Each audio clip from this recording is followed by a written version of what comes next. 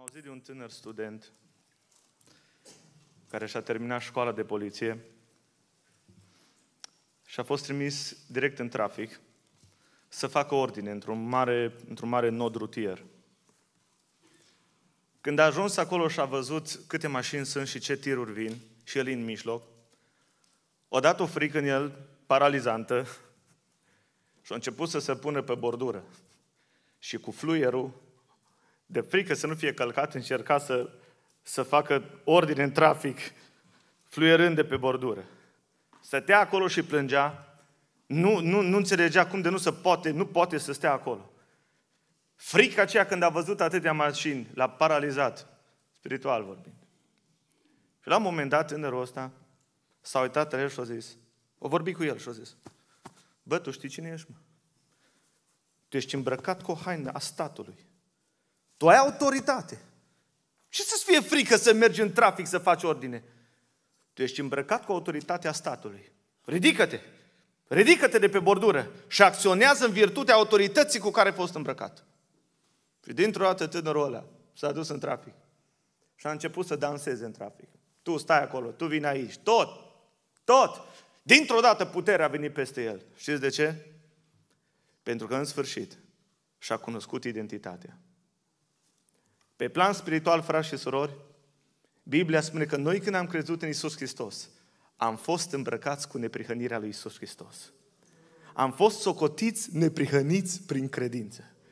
Și lucrul acesta îmi dă o poziție spirituală să pot să lupt împotriva duhurilor răutății și să nu stau să îmi plâng de milă pe bordura vremii și să nu acționez după vechile mele emoții, să nu las pe satana să folosească de firea mea pământească, care n-a fost răscumpărată, e în trupul ăsta muritor, să nu mai ascult de ce îmi spune sinele meu păcătos, ci să-mi înfrunt sinele acelea, știind că eu sunt al lui Hristos, că sunt îmbrăcat în sfințirea lui Hristos, că ce în mine mai tare decât ce în lume. Și dacă diavolul îți fură această identitate și nu, și nu știi cine ești în Isus Hristos, tu poți să fii un fiu de rege și să te, com, să te comporți ca un cerșetor, măcar că ești îmbrăcat în neprihănirea și autoritatea lui Isus Hristos. Eu cred din toată inima mea, frați și surori, că Dumnezeu ne-a chemat în viața asta să domnim în viață. Așa spune Biblia, Roman, capitolul 5, cu versetul 17. Dacă deci prin greșeala unuia singur, moartea a domnit prin el singur, cu mult mai mult cei ce primesc, zice stare, în toată, mai tare. Știu că e dimineață, mai tare. În toată, plinătatea, harul și darul neprihănirii vor domni în viață. Care este voia lui Dumnezeu pentru noi, pentru fiecare? Știți care este? Nu să ne târâm în viață. Dumnezeu vrea să domnim în viață. Și domnia asta în viață, biruința asta în viață, deja Hristos ne-a câștigat-o la cruce. Și eu trebuie să intru în posesiunea biruinței care El deja a câștigat-o. Și să omor păcatul care deja a fost omorât de Hristos în trupul Său pe cruce. Și Biblia spune că și eu am fost răstignit împreună cu Hristos într-un mod invizibil, fără să simt durerea. În modul acela eu m-am identificat cu moartea și cu suferința lui Hristos și am murit față de vechile emoții și am murit față de păcat ca să nu mai fiu sub lege, ci să fiu al lui Hristos, să fiu sub har, lăudat să fie numele Domnului. Amin, frați și surori? De multe ori însă în viață parcă noi nu mai trăim, noi nu mai domnim în viață, noi ne târâm în viață. Și Domnul nu vrea să, să ne târâm în viață, Domnul vrea să domnim în viață. Și această domnie devine reală pentru noi când îți cunoști poziția și te poți împotrivi. Pentru că una să fii într-o poziție bună și alta să știi că ești în ea. Eu cred că orice om mântuit este într-o poziție bună de a lupta împotriva duhurilor răutății. Dar dacă nu știi că ești în poziția aia, degeaba ești. Și în această dimineață aș vrea să ne uităm să vedem ce a făcut Isus Hristos pentru noi la cruce. Probabil întrebarea care a frământat mintea marilor oameni al Dumnezeu, cea mai puternică întrebare a fost aceasta. Cum poate un om păcătos să se prezinte drept înaintea lui Dumnezeu Sfânt? Cum poate un om păcătos să se prezinte drept înaintea lui Isus Hristos, înaintea lui Dumnezeu? Și adevărul este acesta. Nu avem nicio șansă să fim sfinți și neprihăniți prin puterea noastră. Noi putem să fim sfinți și neprihăniți numai prin credința în Isus Hristos. Amin? Eu cred că noi trăim în cea mai binecuvântată epocă pe care lumea a trăit-o. Noi trăim sub har. Poporul evreu a trăit sub Moise, sub lege. Însă a venit Isus Hristos și prin moartea Lui. El a împlinit toate cerințele legii, a dat satisfacție legii. A achitat toate păcatele mele și blestemul legii care trebuia să cadă asupra mea păcătosul, a căzut asupra lui Isus Hristos. Și prin rănile Lui și prin sângele Său cel Sfânt, eu sunt îmbrăcat cu meritele Lui Hristos și mă prezint înaintea Lui Dumnezeu ca un om care n-am păcătuit niciodată. De ce? Pentru că prin credință sunt îmbrăcat cu haina neprihănirii Lui Hristos. Și îmi dau seama că în cer, oricât de bine te-ai ținea, nu poți să intri prin faptele tale. În cer intră numai oamenii perfecți. Nimic întinat nu poți să intri acolo. Hai să ne luăm la bani mărunți pe fiecare. Câți dintre noi putem să intrăm pe baza faptelor noastre în cer? Câți dintre noi? Niciunul. Dar pe baza cui pot să intru acolo? Pe baza neprihănirii care Dumnezeu mi-a imputat-o, mi-a atribuit-o, socotit neprihănit prin credința în Isus Hristos. De aceea îmi dau seama că n-am nicio șansă să, să satisfac cerințele legii prin propria mea voință. N-am nicio șansă. Cerințele legii au fost satisfăcute în trupul lui Isus Hristos. Hristos a împlinit legea în locul meu și Biblia spune în Roman capitolul 8 cu versetul Roman capitolul 10 cu versetul 4 că Hristos este sfârșitul legii. Auzi? Hristos este sfârșitul legii. A venit Hristos, gata cu Moise, eu nu mai sunt sub lege, eu sunt sub har. Amin? Crezi că ești îmbrăcat în neprihănirea lui Hristos? Uitați ce zice Biblia. 1 Corinteni, capitolul 1, cu versetul 30. Ce se întâmplă când cineva crede în Isus Hristos? Când cineva crede în Isus Hristos, Biblia spune așa. Și voi prin El sunteți în Hristos Isus. El, Hristos, a fost făcut de Dumnezeu pentru noi. Ce a fost făcut? înțelepciune, neprihănire, sfințire și răscumpărare. Când l-ai primit pe Iisus Hristos, El a fost făcut pentru tine, ceea ce tu nu puteai să faci prin faptele tale. Ce ai fost făcut? Lăsați versetul 30, băieți. Ce ai fost făcut? Înțelepciune. Dumnezeu se uită la tine și zice, tu ești înțelepciunea lui Hristos. Tu ești îmbrăcat cu neprihănirea lui Hristos. Tu ești îmbrăcat cu sfințirea lui Hristos, care oricât de mult ai încercat să o faci prin faptele tale, nu puteai. Că dacă păzeai toată legea și greșai în una singură, erai vinovat de toate. N-avei cum să fii îmbrăcat cu sfințire. Dar prin credința în Cel care a plătit păcatele tale. Hristos a luat haina păcatelor tale și a murit la cruce. Și Dumnezeu a luat haina lui Hristos și ți-a atribuit-o ție. Și acum tu ai acest statut, poziție înaintea lui Dumnezeu, de om sfânt, neprihănit, răscumpărat, înțelept. De ce? Pentru că Hristos a plătit și a chitat toate păcatele tale, lăudat să fie numele Domnului. Amin? Ei, după această poziție în care știi ce autoritate ți-a dat Dumnezeu, Biblia spune, acum trebuie să lupți știind că ai autoritatea asta. Dar ce s-a întâmplat de fapt când, când ai fost justificat prin credință? Când tu, strâmbu, ai fost îndreptățit prin credință și ai fost socotine prihănit prin credință. Ce s-a întâmplat? S-a întâmplat următorul lucru. Și asta este una dintre cele mai frumoase învățături care ar trebui să fie din ce în ce mai mult uh, uh, accentuate în bisericile noastre. Și anume, m-am unit tainic cu Isus Hristos. Când eu am crezut că Isus Hristos, Fiul lui Dumnezeu, și-a lăsat slava cerească și a venit și a murit pentru păcatele mele și eu păcătosul, eu care încercam să, să devin ca Dumnezeu prin păzirea poruncilor și mi-am dat seama că sunt mizerabil, că oricât încerc, n-am cum. Și a venit Hristos și a achitat El totul. Și eu intru în această neprihănire, îmbrăcat cu meritele lui Hristos, prin har, prin credință. Când înțeleg lucrul acesta, trebuie să știi următorul lucru. Că în momentul în care ți-ai pus credința în Isus Hristos, tu te-ai unit tainic cu El. Când ai crezut în Isus Hristos, Biblia spune în Roman capitolul 6, zice Biblia așa, versetul 3. Nu știți că toți câți ați fost botezați în Isus Hristos, am fost botezați în moartea Lui. Noi, deci, prin botezul în moartea Lui am fost îngropați împreună cu El. Pentru că după cum Hristos a înviat din morți prin slava Tatălui, tot așa și noi să trăim o viață nouă. În adevăr, dacă ne-am făcut una cu El printr-o moarte asemănătoare cu El, vom fi una cu El printr-o înviere asemănătoare cu a Lui. Ce s-a întâmplat când ai crezut în Isus Hristos? Crede în Isus și gata. Nu, în momentul ăla, tu te-ai unit tainic cu Isus Hristos. Tu ai murit împreună cu Hristos. Ai fost deja răstignit împreună cu Hristos. Într-un mod invizibil, fără să simți durerea. Deja lucrul ăsta s-a întâmplat. La nivelul Duhului tău. Tu ai murit față de păcat și ai un duh nou. Tu ai fost îngropat prin botez împreună cu Hristos. Tu ai înviat la o viață nouă cu Isus Hristos. Și de, de aceea, pentru că Duhul Sfânt acum locuiește în Duhul tău, Hristos locuiește în Duhul ăsta regenerat. Biblia spune, socotește-te atunci mort față de păcat. Și nu mai asculta de poftele lui. De ce? Pentru că tu deja ai murit împreună cu Hristos. Tu deja ai fost răstignit împreună cu Isus Hristos.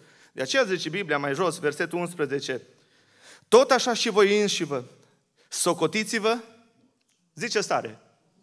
Dar frate, dar încă mai păcătuiesc, cum să zic că îți mort când nu-s mort? Vă rog să fiți atenți.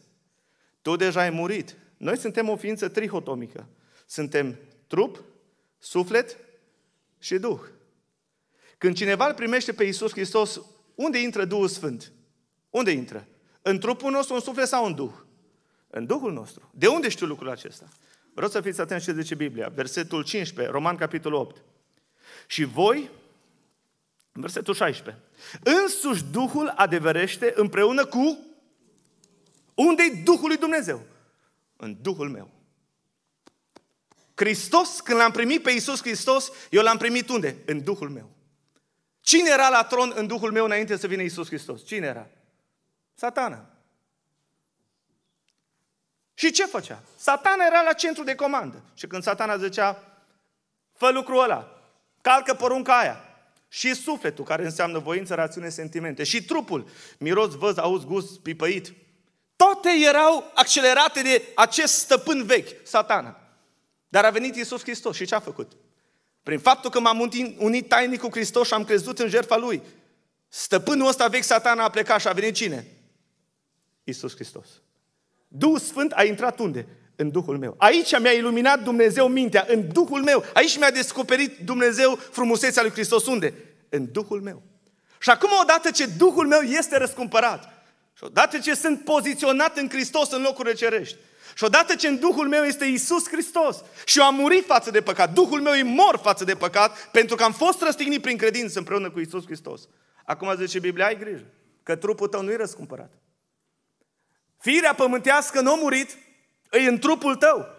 Mântuirea nu are de-a face cu trupul tău. De aceea oamenii au cancer care cred în Isus Hristos, au cari în gură, au boli. De ce? Pentru că trupul ăsta nu e glorificat. Ăsta n-a fost, ăsta n-a fost, n-a fost mântuit. Ce a fost mântuit? Duhul meu. Acolo am murit tainic împreună cu Hristos. Acolo am înviat la o viață nouă cu Hristos. De acolo l-a scos Dumnezeu pe satana. Și acum cine e la centru de comandă? Duhul Sfânt al lui Dumnezeu. Și Biblia spune, vezi, vezi, e adevărat că sunt aici, asta e poziția ta, ești sfânt neprihănit.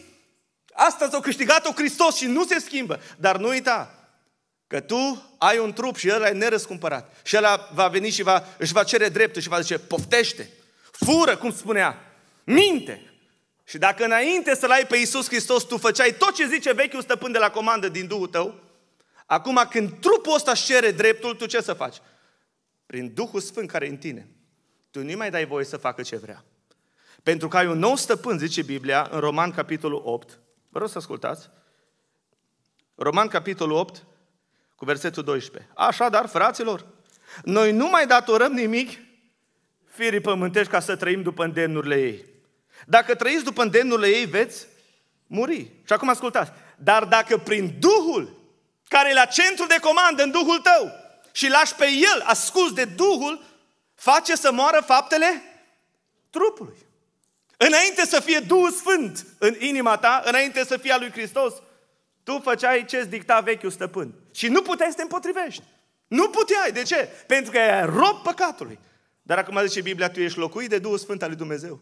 La centru de comandă este Isus Hristos. Și când trupul ăsta nerăscumpărat, firea asta pământească, care e în trupul tău, în sufletul tău, îți dă înclinații rele și păcătoase, tu ce să faci? Tu nu mai faci ce zice trupul tău, tu faci ce zice noul tău stăpân și prin Duhul Sfânt ce faci? Omor faptele trupului și spun, nu-ți dau voie.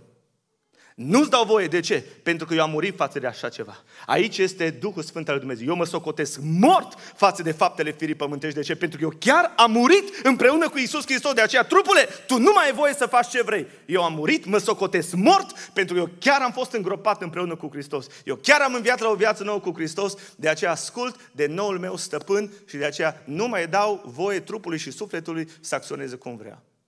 Amin? Amin? Noi nu gândim așa. Noi gândim că mâine iară, Doamne, te rog, iartă-mă, iară, Doamne, Doamne, iară, iară, promit că nu știu ce. Știți ce înseamnă asta? Să trăiești sub lege. Când trăiești sub lege, nu poți să omori păcatul. Legea nu te poate sfinți. Legea, zice Biblia, este un îndrumător spre Hristos. Un pedagog. Legea nu are putere să te transforme. Degeaba îți propui, nu mai, nu mai, nu mai. Îți dau un exemplu. Nu te gândi la un dinozaur acum. La ce te gândești? Exact la un dinozaur. Biblia zice să nu poftești. Nu numai de-aia de ce ți-o zis să nu poftești. Zice Biblia, de-aia poftești. Ascultați ce zice Biblia. Roman, capitolul 7. Versetul 7. Deci ce vom zice? Legea este ceva păcătos? Nici de cum. Din potrivă, păcatul nu l-am cunoscut decât prin lege. De pildă, n-aș fi cunoscut pofta dacă legea nu mi-ar fi spus să nu poftești. Apoi, păcatul a luat prilejul, a făcut să se nască în mine prin poruncă tot felul de pofte, căci fără lege, păcatul este mort. Odinioară, când eram fără lege, trăiam. Dar când a venit porunca, păcatul a înviat și eu am murit. Și porunca care trebuia să-mi dea viața mi-a pricinuit moartea. Pentru că păcatul a luat prilejul prin ea și m-a amăgit și prin însăși porunca asta m-a lovit cu moartea. Nu? Domnul zice să nu poftești. No, fix de aia o să păcătuiești. Pentru că degeaba legea spune să nu poftești. Pentru că legea nu-ți dă putere să împlinești porunca. Legea este dată nu ca să te mântuie. De ce a dat Dumnezeu legea? Care este scopul legii? Legea, zice Biblia, este o oglindă, așa Îmi arată starea, dar nu-mi dă să pun. Mi-arată că sunt murdar, dar nu mă împuternicește. Legea a fost dată să mă bage în disperare. Să-mi arate că eu, prin forțele mele, oricât de mult aș încerca să păzesc legea lui Dumnezeu, eu n-am cum să împlinesc faptele legii. Nu am cum! Legea a fost dată să arate caracterul sfânt al lui Dumnezeu, ce sfânt, ce glorios e El. Și când văd ce sfânt e El și să am relație cu El, trebuie să fiu, cum zice legea, îmi dau seama că niciodată nu o să pot să fiu ca Dumnezeu. Legea nu mă poate sfinți. Unde scrie lucrul ăsta? Zice Biblia așa, 1 Corinteni, capitolul 15, versetul 5-6. Boldul morții este păcatul și puterea păcatului este legea. Prin lege cunosc păcatul. Ascultați ce zice Biblia în Galaten, capitolul 3, versetul 21. Galaten, capitolul 3, versetul 21. Biblia spune așa. Atunci, oare legea este împotriva făgăduințelor lui Dumnezeu? Nici de cum. Și acum, dacă s-ar fi dat o lege care să poate da viața, într-adevăr, neprihănirea ar veni din lege. Dar neprihănirea nu poate să vină din lege. Legea nu poate da viață. Legea ce aduce? Moarte condamnare. Asta duce legea. Asta duce legea. Până să-L primesc pe Iisus Hristos în inima mea, unde eram? Sub Hristos sau sub lege? Sub lege. Și legea cum e? E bună? E bună, e sfântă, e neprihănită. Dar sunt rob păcatului. Legea e un stăpân aspru, care îmi spune ce să fac. Și dacă nu fac, mă bate. Dar e, e drept că mă bate. Dar nu mă împuternicește, ea nu mă poruncește. Nu pot. Și atunci ce trebuie să fac? Eu nu pot să fiu al lui Hristos. Pentru că unul trebuie să moară. Așa zice Biblia, Roman capitolul 7, vreau să fiți atenți. Nu știți, fraților, că vorbesc ca unor oameni care cunosc legea? Că legea are stăpânire asupra omului câtă vreme trăiește el. Căci femeia măritată este legată prin lege de bărbatul ei, câtă vreme trăiește el. Dar dacă îi moare bărbatul, este deslegată de legea bărbatului ei. Dacă deci când îi trăiește bărbatul, ea se mărită după altul, se va numi prea curvă. Dar dacă îi moare bărbatul, este deslegată de lege, așa că nu mai este prea curvă dacă se mărită după altul. Tot astfel, frații mei, prin trupul lui Hristos, și voi ați murit în ce privește legea. Ca să fiți ai altuia, adică a cui?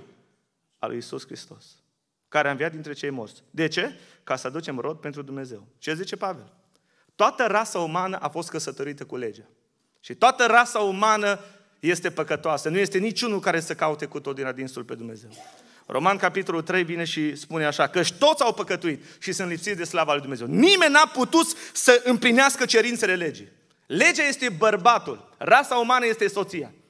Și nimeni n-a putut să satisfacă legea. Așa că toată rasa trebuie să fie sub condamnare. Și legea e bună, legea e dreaptă, arată caracterul sfânt al lui Dumnezeu, dar nimeni n-a putut să o împlinească. Și atunci ce să facă Dumnezeu să salveze planeta asta? Și ce a făcut? O zis, tu nu poți să devii al lui Hristos. Pentru că, unul, trebuie să moară. Tu ești a bărbatului lege. Păi dacă vrei să fii al lui Hristos, nu poți să fii așa. Nu, unul trebuie să moară. Legea nu moare. Legea rămâne a lui Dumnezeu.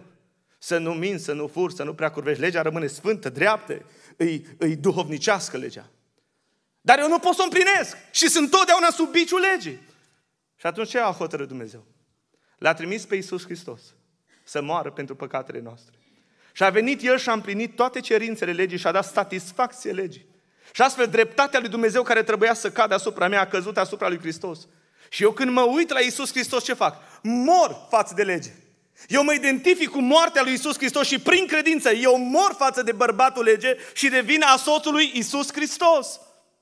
Și pentru că sunt al lui Isus Hristos, legea nu mai poate să mă condamne. Biciul legii nu mai poate. De ce? Pentru că deja Isus Hristos a luat toată condamnarea asupra lui la cruce. De aceea eu nu mai sunt a bărbatului lege. Legea nu mai are stăpânire asupra mea, pentru că nu sunt sub lege, ci sunt sub har, spune Biblia. Așa că legea rămâne sfântă. Legea rămâne dovnicească.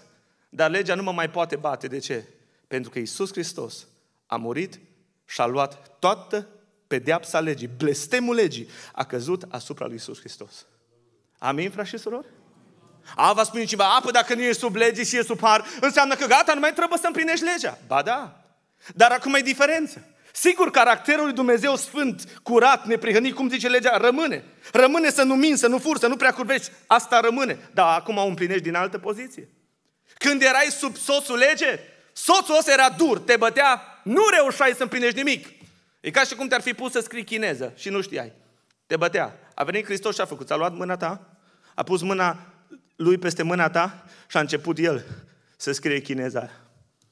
A început ce să facă Hristos? Odată ce ești în Hristos, legea rămâne, dar acum El te împuternicește să împlinești ceea ce nu puteai să faci sub vechiul stăpân. Și asta este legea Duhului de viață. Așa zice Biblia. Versetul 2. În adevăr, legea Duhului de viață în Hristos Iisus m-a izbăvit de legea păcatului și a morții. Am o altă lege, am pe Duhul Sfânt în viața mea. Acum e Hristos, sunt sub, Hristos sunt sub har. Asta nu înseamnă că trebuie să păcătuiesc că sunt sub har, nici de cum, asta e libertinism. Dar nici să câștigi neprihănirea prin fapte. Asta e legalism. Trebuie să realizezi faptul că Isus e în tine, noul stăpân, bărbatul tău. Ai murit față de bărbatul lege și Hristos e în tine. Și acum Hristos, ca un bărbat bun, ca un soț bun, ce face? Te împuternicește prin Duhul Sfânt ce să faci? Să împlinești ceea ce nu puteai să împlinești sub vechiul stăpân. Și odată ce l-ai pe Iisus Hristos, Duhul Sfânt este în tine. Și acum încep să iubești poruncile alea, care odată le orai și nu le puteai împlini. De ce? Pentru că a pus Duhul Sfânt în tine și prin Duhul poți să omori faptele firii pământești datorită unei noi prezențe în viața ta, așa nume, Duhul Sfânt al lui Dumnezeu. Amin, frați și surori? Îți grele poruncile, îți foarte grele. Nu este niciunul care să caute cu tot. Toți au păcătuit. Niciunul nu a putut să împlinească poruncile lui Dumnezeu. Ascultați ce zice 1 Ioan, capitolul 5. Biblia spune așa, 1 Ioan, capitolul 5, cu versetul 3. Căci dragostea de Dumnezeu stă în păzirea poruncilor Lui. Și auzi ce zice Ioan. Și poruncile Lui e, nu sunt grele sub Hristos, sub har. Da, sub lege era condamnat toată viața. Toată viața. N-aveam cum. Dar acum ce nu sunt grele? Cum nu sunt grele? Vă rog să vă imaginați următorul lucru. Dacă e un pește din ocean și îl pui pe plajă, pe nisip, cum simte el, cum se simte el, bine sau rău? N-are nimic pe el, e, e liber. Se simte rău sau bine? Rău, dar n-are greutate pe el. Nu e în mediul lui. Același pește îl iei și îl arunci în ocean și are mii de tone de apă deasupra lui. Simte greutatea? Nu. De ce? Pentru că e în mediul lui. Când nu ești în Hristos, când nu ești în altoit din vechiul Adam în noul Adam, poruncile lui sunt grele, te disperă bărbatul lege și știi că e drept, dar nu-ți dă șansă, nu te împuternicește, ți arată că ești murdar și te condamnă.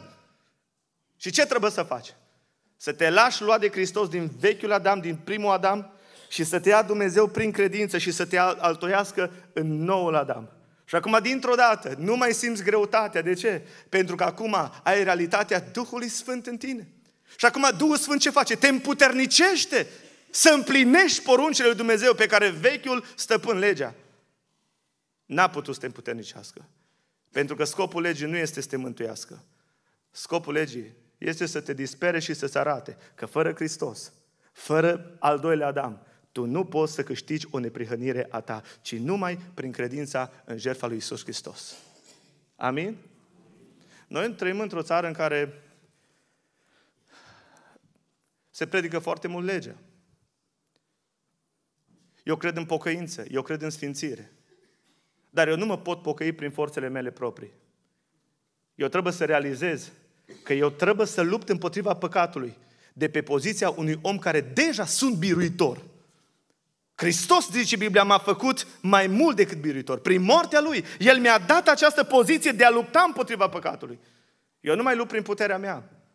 Eu lupt prin puterea Duhului Sfânt al lui Dumnezeu. Și lucrul ăsta mă împuternicește să lupt împotriva celui rău. De ce? Datorită acestei noi realități. Eu chiar am murit față de păcat. Tu chiar ai murit. Tu chiar ai fost răstignit. Duhul tău, la nivelul Duhului tău, poziția ta, ești mort față de păcat. Și pentru că ești mort față de păcat și ai Hristos în Duhul tău, tu îi spui trupului tău să nu-și mai facă de cap, tu asculți de stăpânul tău care este în inima ta, de Isus Hristos și îl, îl ții în frâu. De ce? Pentru că ai un nou stăpân. Dar uitați ce zice Biblia. Pe frate, dacă e așa și a murit față de păcat și Biblia ce socotește-te mor și nu e autosugestie, chiar s-a întâmplat lucrul ăsta prin credință, te-ai unit tainic cu moartea lui Hristos și e o realitate. Bun, dar atunci de ce mai păcătuiesc? Uitați ce zice Biblia. Căci nu știu ce fac, Roman 7 cu 15. Nu fac ce vreau, ci fac ce urăsc. Acum, dacă fac ce nu vreau, mărturisesc prin aceasta că legea e bună. Și atunci nu mai sunt eu cel ce face lucrul acesta, ci păcatul care locuiește în mine. No, ho, deci acum stai, Pavel, nu înțeleg. Tu îmi spui că Isus, că Duhul Sfânt e în Duhul meu, că Duhul meu e regenerat, că e Sfânt, e neprihănit, e curat, e o poziție care nu mi se schimbă. Așa cum zice Pavel către Sfinții din Efes, către Sfinții din Corint, câte păcate aveau. Pozițional în Hristos. Ei prin meritele lui Hristos sunt Sfinții lui Dumnezeu. E adevărat că Sfințirea nu este doar pozițională, este și progresivă. Cine e Sfânt ce să facă? Dar dacă vă întreb pozițional, suntem Sfinți. Poziția mea, îmbrăcarea mea în meritele lui Hristos, mă socotește Dumnezeu Sfânt și curat. Da sau nu? Așa zice Biblia, 1 Corinteni 1 cu 30, nu? Că El a fost făcut pentru mine ce? Neprihănire, sfințire. Și când l-am primit pe Hristos, nu mi-a dat 5% din neprihănire, 20% din sfințire. M-a îmbrăcat în meritele lui Hristos și m-a socotit sfânt, neprihănit, prin credință. De aceea, din punctul ăsta de vedere, oricine crede cu adevărat în Isus Hristos este Sfântul lui Dumnezeu. Lăudați să fie Domnul. Și să n-ai frică. De ce? Asta a făcut, asta e Evanghelia. Hristos, prin moartea Lui, mi-a dat ceva ceea ce legea n-a putut să-mi dea. Nici nu puteam să obțin de la lege. Și eram rob păcatului prin lege.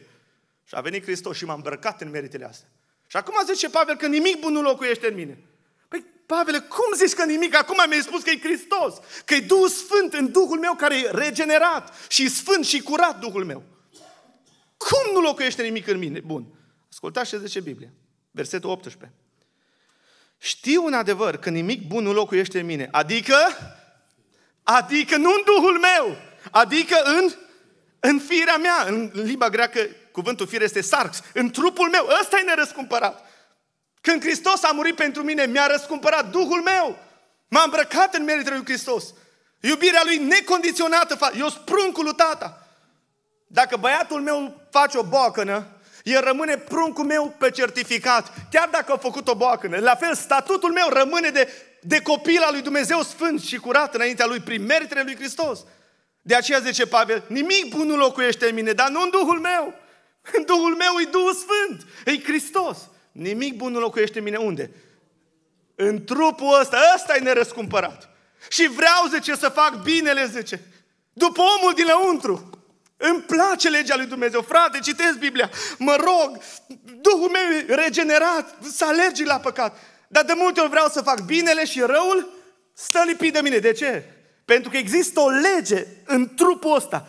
O lege a păcatului. Ceva care n-a fost răscumpărat. Firea pământească.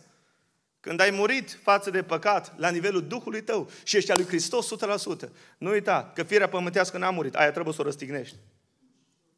Firea n-a murit, și firea unde? E în trupul ăsta, zice. Nimic bun nu locuiește în mine. Adică nu în Duhul meu, ci în trupul ăsta care e vândut rău păcatului. Vreau să fac binele, dar e o lege care e contrară Duhului Sfânt. O, nenorocitul de mine, zice. Cine mă va izbăvi de trupul ăsta de moarte? Cine mă va izbăvi? Și ascultați ce zice versetul 25. Zice, astfel, dar, cu minte eu slujesc legii lui Dumnezeu, dar cu firea pământească slujesc legii păcatului. Asta nu trebuie să fie o realitate pentru noi. Asta arată condiția disperată a unui creștin care vrea, vrea să laude și să stea lângă Dumnezeu și întotdeauna parcă eșuează. Dar nu asta este condiția la care ne cheamă Dumnezeu. Asta arată starea mizerabilă a unui creștin care nu-și cunoaște identitatea. Și atunci ce să faci? Versetul 1, capitolul 8. În vremea aceea nu erau capitole și versete, erau tot, tot, tot. Și poate înțelegeam mai bine. Acum, dar nu este nicio osândire pentru cei ce sunt în Isus Hristos.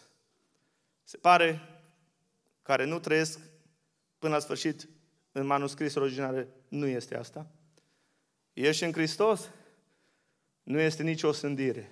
Duhul tău rămâne sfânt și curat înaintea lui Dumnezeu prin meritele lui Isus Hristos.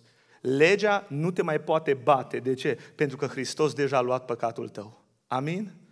Legea nu mai are, nu te mai poate condamna. Nu-i corect ca Dumnezeu să plătească păcatul de două ori. Dacă Hristos a plătit păcatele noastre, trecute, prezente și viitoare, ar fi incorrect ca Dumnezeu să-L mai trimită pe Iisus și să ia pedeapsa care oricum rămâne. Nu. Nu. Legea nu te mai poate osândi. Tu rămâi, tu ești copil al lui Dumnezeu. Și atunci ce să fac? Versetul 13. Prin Duhul, care în Duhul tău răscumpărat, ce să faci? Să nu mai asculți de firea pământească care în trupul tău nerăscumpărat. Și ce să faci? Să lași pe Duhul Sfânt la, la centru de comandă, să controleze El poftele alea și când diavolul zice poftește, fură motorină, că-ți vine poate, că ești în firea pământească, nu ești glorificat, astea să luptă în tine. Ce să faci? Dacă înainte furai motorină, acum datorită Duhului Sfânt care e în Duhul tău, răscumpărat, pur, îmbrăcat în neprihănirea lui Hristos, tu omori acea faptă și pui frână. Mai de mult n-aveai frâna asta. Acum ai Hristos în tine și omor faptele trupului și zici, eu nu mai ascult de tine, satanul, nu mai veni tu cu vraja ta că încă eu sunt stăpânul tău. Eu nu mai acționez după vechile emoții. De ce? Mi s-a schimbat stăpânul. Și pentru că mi s-a schimbat stăpânul, eu ascult de Isus Hristos. Amin, frați și surori? Așa că eu cred că fiecare dintre noi am fost în situații în care am vrut să facem binele, mă, și rău stă lipit de noi. Mă. Vi s-a întâmplat asta? Da sau nu? Dacă nu ți s-a întâmplat, n-aș de nou.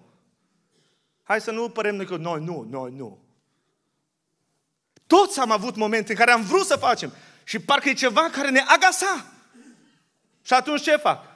Eu nu trăiesc cu mintea mea slujesc lui Dumnezeu și cu trupul slujesc firii pământești. Nu, asta e o stare nenorocită a unui creștin care nu-și cunoaște condiția, poziția aceea de biruitor.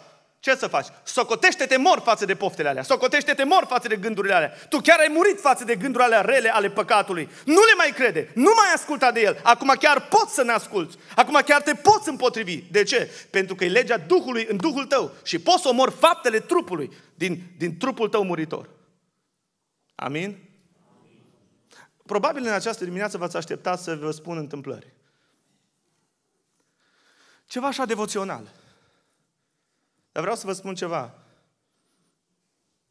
Marile treziri spirituale s-au întâmplat când oamenii au realizat ce înseamnă îndreptățirea prin credință, ce a făcut Hristos pentru mine, cum am îmbrăcat, în ce poziție m-a pus Dumnezeu. Eu lupt împotriva păcatului de pe poziția deja de un om deja biruitor.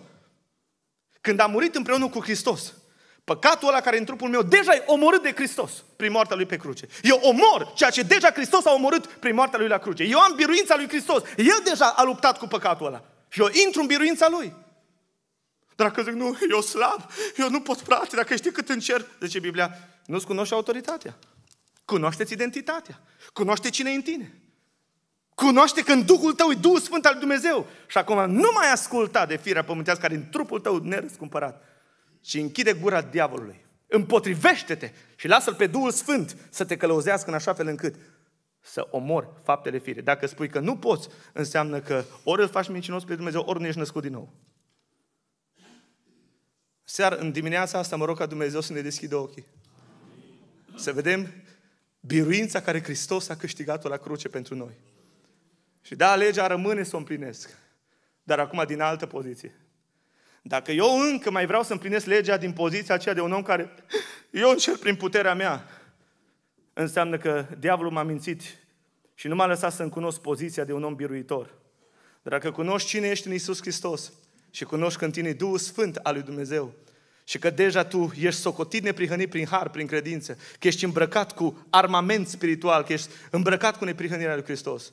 Nu mai sta pe bordura vremii, ridică-te, înfruntă acele pofte ale trupului tău.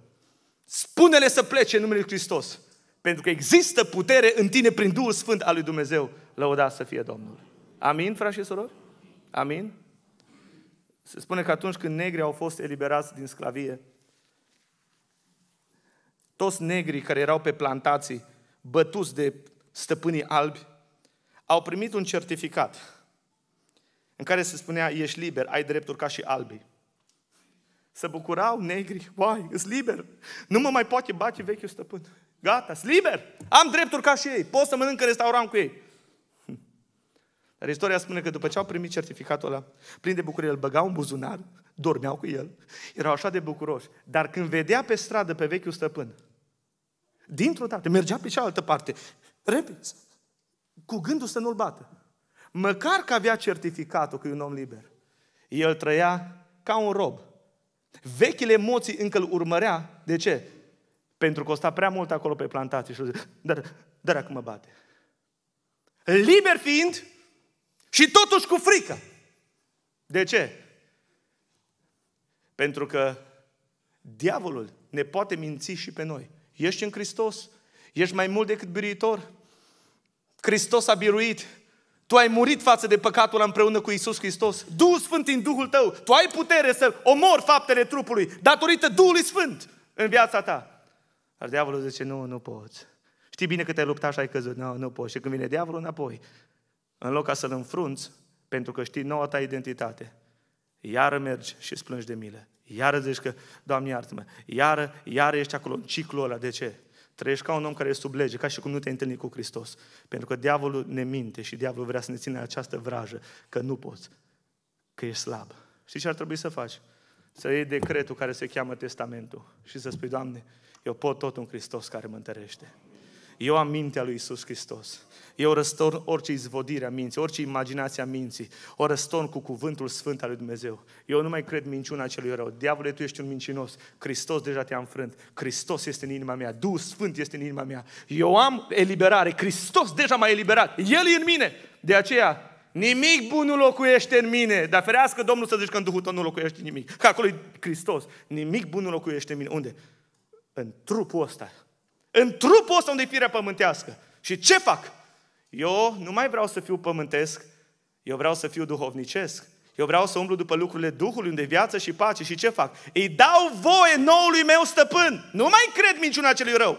Îi dau voie noului meu stăpân să-mi controleze viața și să mă împotrivesc. Până acum poate, cu Hristos în inimă și cu Duhul Sfânt în inimă, ai stat în frică, ai stat în înfrângere spirituală, n-ai domnit în viață, pentru că diavolul zice, ești slab, ești slab, ești slab. Și l-am crezut mai mult pe satana. Cunoașteți identitatea ta și luptă împotriva păcatului de pe poziția unui om care deja ești biruitor prin moartea și învierea lui Isus Hristos. Slăvit să fie numele Domnului. Amin? Așa zice Biblia. Roman, capitolul 5. Biblia spune așa. Deci, versetul 1. Fiindcă suntem socotiți neprihănit, neprihăniți prin credință, zice stare. Avem pace cu Dumnezeu. Prin cine? Cum ai pace cu Dumnezeu? Prin credință. Ai pace cu Dumnezeu de ce? Pentru că Hristos, cu sângele Său, te-a justificat, te-a îndreptățit. Tu ești copil al lui Dumnezeu și tu trebuie să-ți cunoști identitatea asta și să nu mai lupți împotriva păcatului, ca unul care ești sub lege, și ca unul care ești altoit în Isus Hristos. Uitați ce zice Biblia versetul 12, Roman capitolul 5. De aceea, după cum printr-un singur om a intrat păcatul în lume, și prin păcat a intrat moartea, și astfel moartea a trecut asupra tuturor oamenilor, din pricină că toți au păcătuit. Cum a intrat păcatul în lume? Cum a intrat? Printr-un om. Păcatul lui, ce a făcut Dumnezeu? L-a imputat asupra întregii umanități. A păcătuit Adam.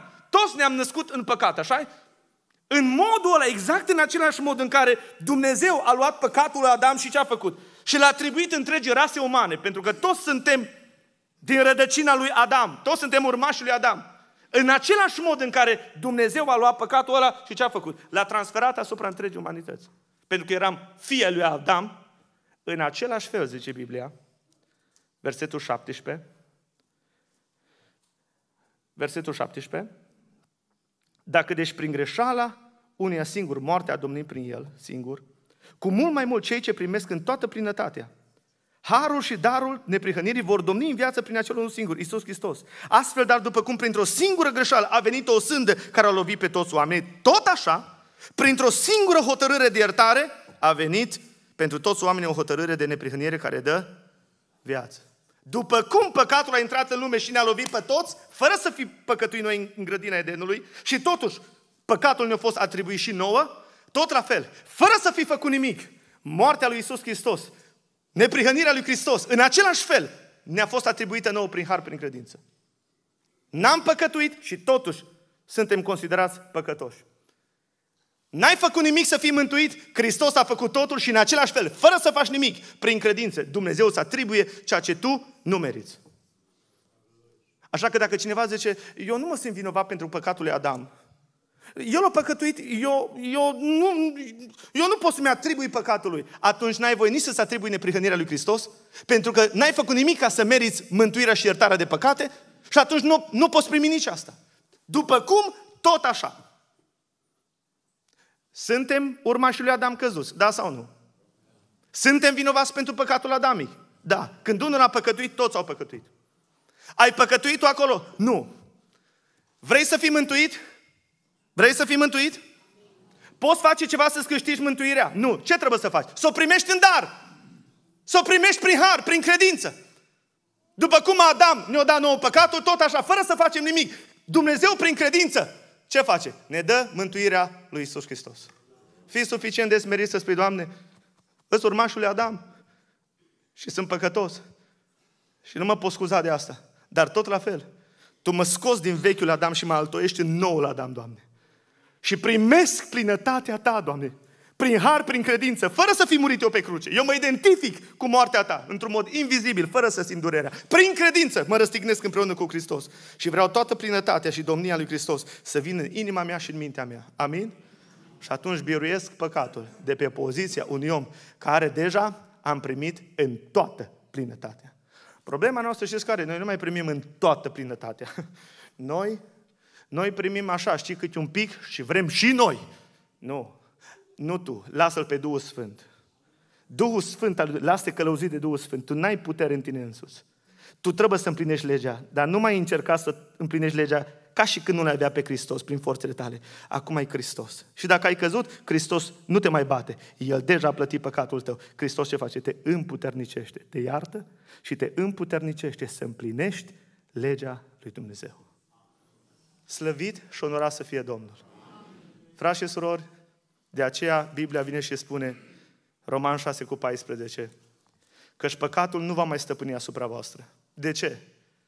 Pentru că nu sunteți sub lege, păcatul te stăpânea. Oricât încercai, nu-ți dădea puterea. Numai te condamna. Asta e rolul legii. Și ce am făcut? Mor față de bărbatul lege. Mor față de soțul lege. Și ce fac? Devin lui Hristos.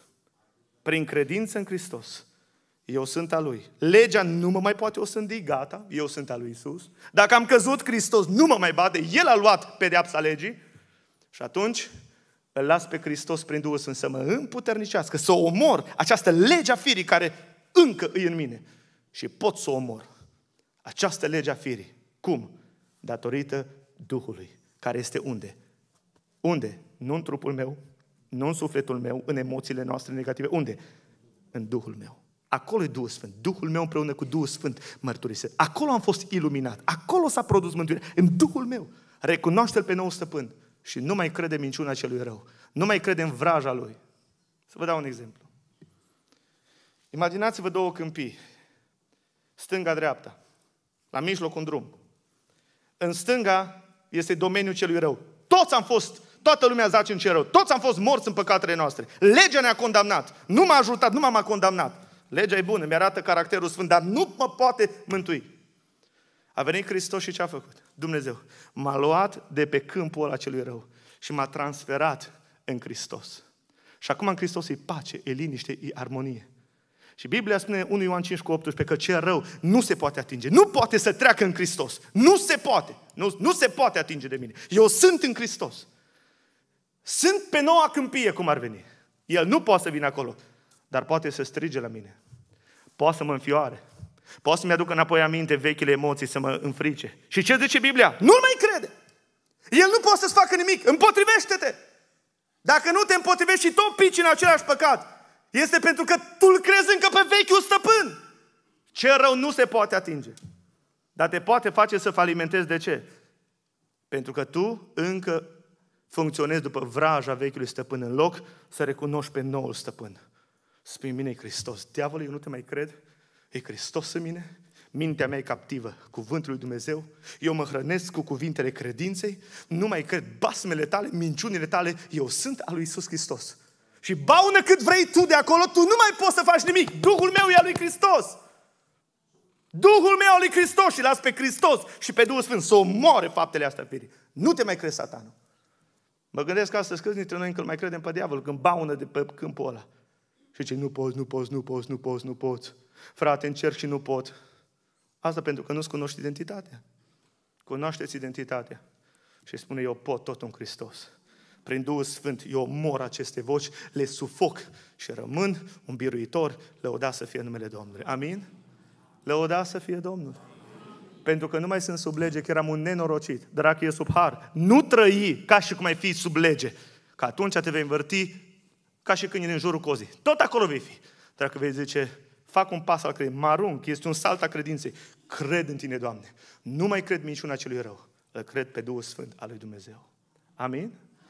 Se spune că a fost un tată care a avut un copil așa mai năstrușnic, cum sunt copiii. Și o trebuit să plece o săptămână de acasă. Și a plecat și înainte eu, eu zis, auzi, Ionele, eu mă duc o săptămână în delegație. Dacă faci prostii și îmi spune mama că ai făcut prostii, îți dau 10 curele la fund, ai înțeles? Să asculți pe mami. Și a zis, da. O venit tata după o săptămână de acasă și zice, cum a fost pruncul? Zice, slavă Domnului că ai venit, că numai fire de păr alb mi-a făcut în cap.